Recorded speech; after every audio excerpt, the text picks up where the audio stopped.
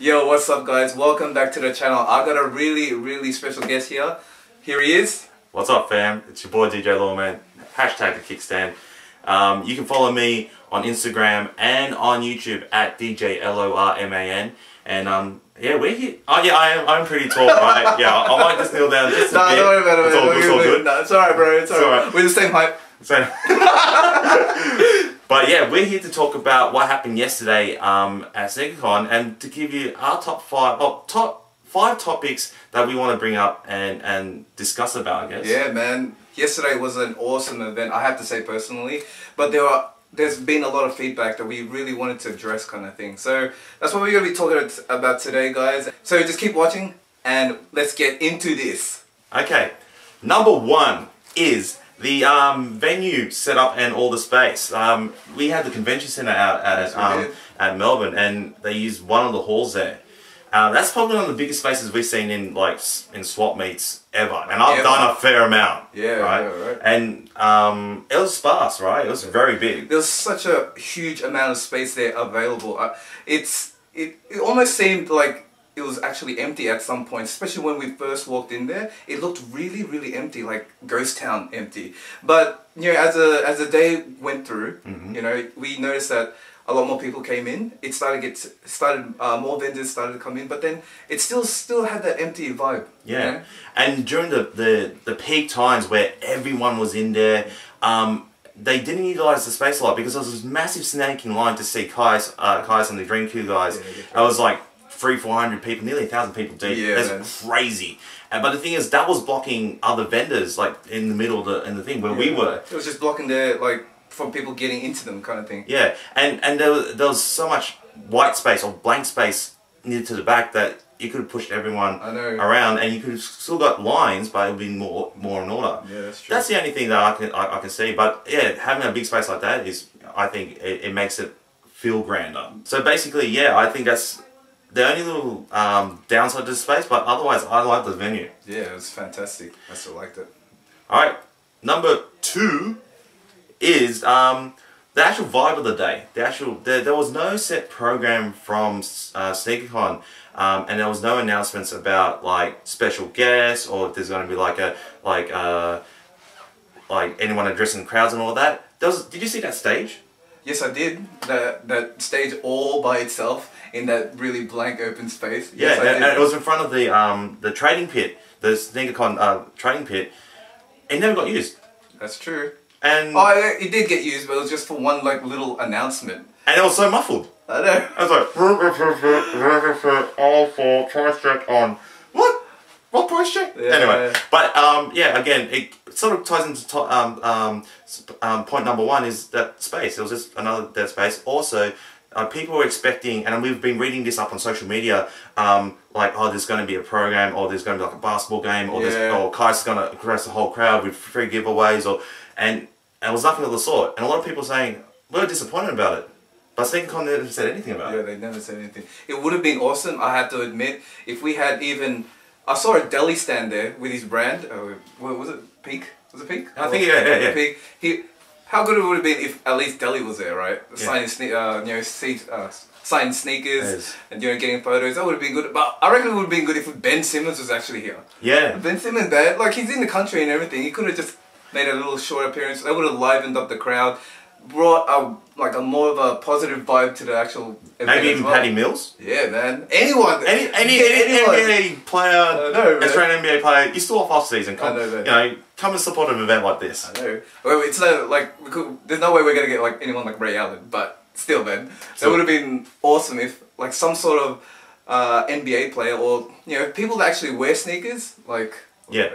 Athletically, yeah, athletically, I'll and think supported athletically to them. and Mate, actually came to actual event. Okay. That would be great. Oh, but imagine if we did have like a sneaker YouTube basketball game or something like that. What they have in the states, that would Yeah, like in New York, uh, Chicago, and in LA, they Yeah. do, do have a game. We had But, so much space for it too. We could have done it. Yeah, I mean, the, the space alone is nearly, what, six or seven basketball courts? Yeah. Full size basketball courts, you can have it. Okay, well, um, you know, let's go to point number three. And um, we're talking about the vendors. And um, there, wa- I feel there was, wasn't enough vendors in the sense of selling stuff. Um, there was there was really cool displays. Like um, you probably see a video coming up on my channel um, showing um, the Butter Movement um, display. That was lit, That's crazy. lit. And also um, um, there were some other displays using your product. So basically, yeah, like we, I had a vendor space there. If you don't know, my brand is a sneaker. Ding! Wait, wait, wait. Do, do, thumbnail, thumbnail. but yeah, yeah, you had your brand there. Yes, we did. And the thing is, you got a. We had a bit of a deal done with one of the vendors, right? Yeah. Yeah, so basically, yeah, another vendor there contacted us maybe like as if you guys been watching my previous vlogs, you would have known that one of the vendors there, his name's Shino really good guy. He had the booth called a Doctor Insoles, the Parks. You would you couldn't have missed it, right? There was a huge display of kicks there, uh, all rare sneakers, and he had to use yours truly's rock box there. So it was really good. Yeah. Uh, value wise, I think it was really good still. It was like worth honestly $150 an actual table, but uh, we found that it was a really, it was really, still really good value for us because we were able to build our brand. A lot of the sneaker community were able to see us, and uh, yeah, it was, it's, it was, it was just being, it was just fantastic being a part of the whole event. Yeah.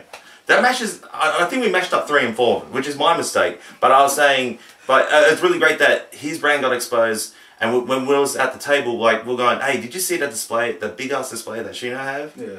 They used our boxes or Yeah. his boxes, and like, wow, really? That's really cool. Mm-hmm. So, so there's always that collaboration point. Um, but of course, the negativity side was like, oh, I couldn't find bargains, or everything was oversold, everything was overpriced, or everything was, um, you know, not in my size. And when we say we need, I think they need more vendors. Like you said, it was 150 bucks at at Yeah. a standard table. Um, you know, um, smaller events like Sneaker Freakers, like the Kickstands events, we do it on a cheaper scale, which is a bit more uh, uh, affordable and reachable. 150 bucks, if you're not selling anything, Yeah, it's a big, it's a fair amount of investment. Yeah. But if you were to like, uh, if you're selling stuff, then you have to make sure it's like, okay, have I made hundred fifty dollars? Also, have I made um, enough brand awareness that that future sales will happen? And I think that part, I think you're you're you should be really happy with. Yeah. You know, there's so much brand awareness there with like literally two stands of your brand in people's faces, which is really great to see. Yeah. So basically, other there there are so many other sneaker events out there, like the Kickstand, Sneaker Freaker, that you know they charge a lot less, and we appreciate that. You know, but one thing, good thing I wanted to say about SneakerCon is it was one hundred fifty dollars, but they gave you four free vendor tickets there. So you know, they, it kind of evens out in some way. Uh, it would have been really good for some other people because that technically one fifty that could be just one shoe, and that's their whole uh you know that's their whole stall paid uh stall rent paid for already. So there's a, like you know there's a lot of uh, really good things really bad things about the actual uh, vendor space. Some people might have complained that it was t- it was too narrow there wasn't enough space. But you know we, we weren't complaining. We were just happy that we, we, we like we were there basically and we had our brand present. And uh yeah. And finally, point number five is Did you really enjoy the day? Honestly, my own personal opinion, I have to say yes. Okay. I, I know a lot of guys there that have been waiting. How long they were waiting in that snake queue? Did you actually see the queue? I did not see the queue because I was working the table the whole Yeah. day. I, was, I did not see the entry, but I heard stories of snaking inside the inside so and then went down the street. It was so long. Actually, I still went to go see the line, and it was so long. Oh, it looked like a concentration camp. Can I say that? no, it He's, was. It was, thinking about Nazi Germany. Come on, man. it was just there was just so many people there, and uh, uh, I couldn't imagine myself waiting there for like more than an hour, two hours. Gosh, Yes. It was. I heard an hour ten was the longest wait, and that was at the peak time where um where like everyone's trying to get in. I know a lot of people pre-purchased tickets, um but yeah. When I was speaking to to all, speaking to all the people that came up after the table and going, how, I asked them how long was the wait. I was like forty five minutes, an hour. Even uh, at about four o'clock, it was like still forty five minutes, still thirty minutes. Yeah. And th- it's like that's pretty manic. Unless they didn't have enough people like checking people in. But again, that's that's all logistics for SneakerCon um, uh, management to think about. Um, and, and I'm guessing they have experienced that as well Yeah. in in other in other uh, in other um, states and countries that they've done it in. Um, firstly, personally for me, um, I really enjoyed it as well because um, I got to see all my friends um, uh, in in the, in the sneaker community. Would you believe I met pe- uh, people from uh, all around Australia? The only people I didn't see uh, met was people from the Northern Territory and Canberra, but people from Tasmania, all the way from WA, South Australia, up in Queensland, even people from New Zealand, bro. That's it. Alright? And, and there was a vendor from from Indonesia that came through. Yeah, Jakarta. Jakarta. Uh, kicks. Uh, Kickstart? uh, yeah, So, we'll, we'll plug them somewhere. Yeah. But basically, they had a massive uh, wall of kicks by about hour three. All gone. All gone. No word of a lie because they had so much um, heat that the kids won. And the other thing is for me, I um, there was so much kids that were there just to see kites, and that's how and and, and, the dream cricket. And there's so much people there who who uh, just like sneakerheads or, or, or streetwear uh, uh, aficionados, just just wanting to you know just converse as a community. And I think um, I'm hoping that they do come back next year, bigger and better, and for sure we'll, we'll probably involve be involved one way or the other. We'll be, we'll be there. Like, I mean, a, a lot of people might have said some negative things about SneakerCon, but it, it always usually depends on you, right? If you're there for the community, then you'd be happy if you bought a pair of shoes or not. I personally, I didn't buy any shoes at all. I bought just merch and a couple of, like a keychain and a t-shirt from the SneakerCon because I actually wanted to have something that said, can I get it? Nah, I don't get it. But No, we're not plugging their merch. We're gonna plug our merch. but yeah, like I, I just um, it was just just good to be there. And honestly, I wasn't there for that long, but because I had my man here helping me out. I just want to be, do a really big shout out to my man, Lorman, for holding down the Sneaker Heir booth while I wasn't there. Also to Hanson, I love you, little bro. Thank you so much for all your help. Uh, big hu- big shout out to my wife as well. Thanks for being there and looking pretty. And bro, we got to talk about something else, man. Yes, that's right. Um, September 24 in Sydney. Um, your, your crew from the Kickstand will be doing the More Than Sneakers Lifestyle Tour. Um, we were in tour for like, uh, technically you can call it a tour. Uh, we did a free stop tour this year. We started off in Adelaide in June. That's it. We did Brisbane in July. That's and it. we're doing our home event in Sydney. Um, and Sydney. Sydney, yeah. That's it. Right, and the biggest thing is, one, one of the biggest draw attractions is these these guys, Sneaker Heir, will be at the event. That's so, um, so Sydney fam, this is the first time you'll be seeing the Sneaker Heir rock boxes and all their product, um, you know, uh, in the flesh. And we always got to support local, and that's what we try to do uh, uh, every time when we do these events. So uh, make sure you get out there. We'll plug the the image right here on our faces, on my face. Yeah.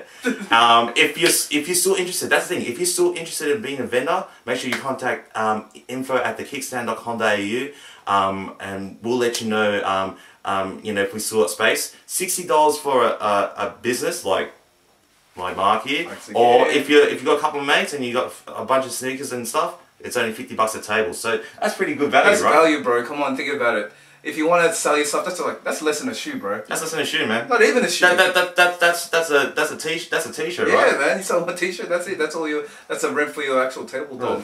And also the cool thing about uh, our, our, our event, and we're talking about cost, right? It was twenty seven bucks to get in. Yeah, for that's it. It's only two dollars to get into our event, and you get um, a, a raffle ticket. And I believe, and I'm, I'm gonna say this only on my channel that we could be, no, we could be, no, we are gonna be raffling off a pair of Yeezys. You heard it first. Yeah, Yeah, that's the first time I heard about it. that's, right. See, he was talking about it, and I'm not, and I'm not, I'm not saying this for clickbait. This is legit. We're I mean, raffle tickets are allowed to get broke. so- Okay, you get one. You get one raffle ticket when you enter in. You can buy multiple raffle tickets at the kickstand There you go, man. How much you guys gonna get, man? You want these Yeezys? You better get into it. I want these Yeezys, gosh, Right. man. But also we have got other things going on today. We're gonna have food vans. We'll um you know uh, other prizes as well. We're gonna raffling off. You got these guys here. You got um, a bunch of interstaters coming through with, with all this stuff. And those people who are saying that um the SneakerCon event is not comparable to the TKS event. Well, of course it's not. But you know we we as I like to say it in all my videos, we do it for the people. We do it for the community. We do it for the culture. That's it. That's it. That's what you really want, guys. Seriously. So I'll be seeing you guys there on September 20. September 24. That's right. um, Parramatta PCYC, um, and two, 12 Hassall Street, Parramatta. Um, it's only 300 metres um, from the Parramatta train station, so it's easy to get to. Free parking on Sundays. Um, yeah, as I said, two dollar two dollar entry fee includes a raffle ticket, and yeah, we will be raffling off a pair of Yeezys. And if we don't, then you can come up to me and say, Lawrence, why are we not ra- raffling off? A He'll, he'll give you the Yeezys. But My pair of Yeezys, my Yeezys are, my Yeezys are beat. I want, like, my Yeezys are beat, man. But no, we, we will be giving a pair of uh, Yeezys amongst other other pairs of, of cool sneakers from limited edition and from Asics. So um, there's so much stuff that's happening, and um, I can't wait for it to happen because it's going to be crazy. Yeah, so we hope to see you guys there. Uh, it'll be really good to actually see the sneakers community once again in Sydney. Uh, I actually have to go plug out Nate Burger because I have I haven't tasted their stuff yet because I'm from Melbourne and I can't wait to actually taste it. But uh, it's going to be such a really good event there, so I really hope to see you guys there. We'll have a big display there, so seriously guys, just come say hi. You don't even know, need to buy some stuff. We just want to be a part of the actual community and actually talk to you guys because sneakers is what we like and what we love and that's where we want to be. Yeah. Yeah. Well, thanks very uh, thanks uh, to Mark for letting me um, be on his channel, and um, yeah, we will see you in Sydney, I guess. That's it. Alright.